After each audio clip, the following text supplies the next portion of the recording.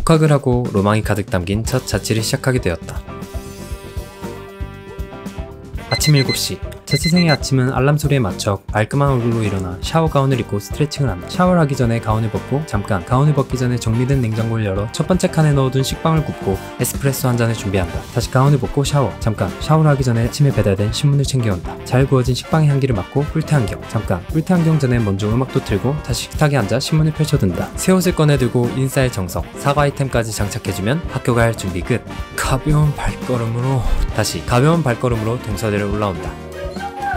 나를 찬양한 후배들 이젠 좀 익숙해졌다 오늘은 열심히 준비했던 발표가 있는 날이었고 빈틈없이 완벽했다 학교에서 돌아와 섹시하게 셔츠를 벗고 벗은 셔츠는 멋있게 빨래통으로 슛 다시 섹시하게 셔츠를 벗고 벗은 셔츠는 멋있게 빨래통에 넣어두고 가볍게 술을 한잔 하기로 한다 시원한 맥주 캔을 따서 한잔하고 있는데 그녀에게서 놀러 가도 되냐는 연락이 왔다. 벗었던 셔츠를 꺼내어 섹시하게 입는다.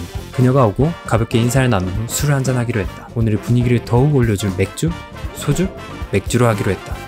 저 소주 마시면 확 취해요. 그래 오늘은 소주가 좋을 것 같다. 이 분위기에 가장 잘 어울리는 술을 따르고 이 술과 가장 잘 어울리는 안주를 세팅한다 그녀와 눈이 마주쳤다. 나는 눈을 감았고 분위기에 몸을 맡기기로 했다. 그렇다. 다 꿈이었던 것이다